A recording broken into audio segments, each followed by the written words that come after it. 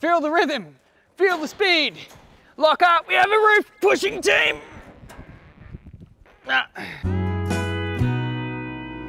G'day, welcome to another all Aussie adventure. Today, I'm gonna show you around the foam pit. This is the breeding ground for all the new tricks. The foam pit's in the front yard with all the rest of the freestyle jumps and it's not all it's cracked up to be. It's really hard landing in there. I've broken my leg in there. I've seen other people break bones in there multiple times over the years. So definitely not super exciting to get in there, but it's a lot better than trying something straight to dirt. Before I go to X Games each year and, and, work on something for best trick, this is where it all happens. This is where the ideas get tried out. You figure out what you can and can't do and pretty much try and iron the kinks out before you go roll the dice to dirt. Foam Pit's been here for about 15 years now, I think. The first original one actually burnt down and I rebuilt it all, metal cage, a steel roof on bearings that rolls back and to keep the foam out of the weather because it deteriorates really bad from the sun and, and the other elements.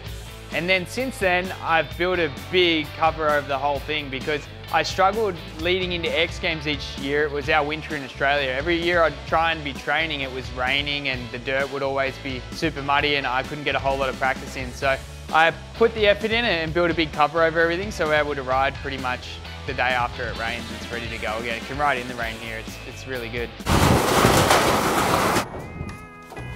I don't think it'll make the cut. So this is the foam pit roof. Protects the foam from the elements. It's made of steel purlins and multicolored sheets. As you can see, I took a one sheet of tin off everyone's house in town and got this thing together. Rightio, it's normally a two-person job to get this thing back, but unfortunately today all we have here is Des and Troy, so we're gonna have to uh, see how we go.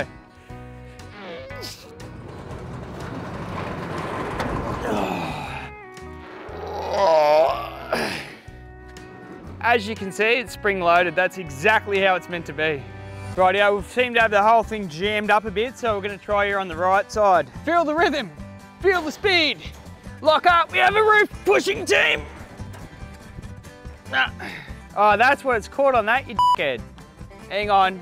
This is something a wire brush will fix. Rightio. That's why it was spring loaded. It'll make sense in a minute when it gets back.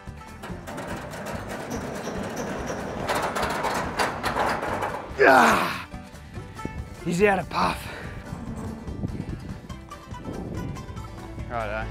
So we've got the roof off, the foam's ready to go. It's uh, got it acquired it over the last kind of 10 years. A lot of it I bought new from manufacturing in Sydney and then some of it came from a um, from an all boys boarding school. It was the old mattresses that we cut up and those mattresses seem to have some really like hard spots in the foam. Some of those blocks are really solid for some reason. Let's get in there and get this thing soft.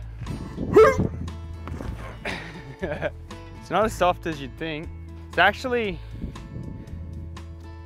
not soft at all. Right, yeah, because it's flammable, one thing to check when you get it going is to make sure that there's water in case you've got to put a fire out. Yep, we're looking good. So this is the crane we use to get the bikes out. When you jump in, literally go bang, around the handlebars, around the handlebars and go fishing, lift the bike out and then drop down here. So this is the ramp. We've just got it in, set up pretty close to where it's got to be. And I'm not sure if the roof here is going to be tall enough without hitting it. So idea that we have is setting up some streamers to hang under the roof about where the peak of the jump will be. And the theory is you're gonna hit this streamer before you're gonna hit the roof. So hopefully you don't headbutt the roof and you only take the streamer out. Would be the plan. It'd be a little tester, just so we know. Righto, that's the foam pit in a nutshell. Make sure you subscribe so next week you can see a bit of action in there.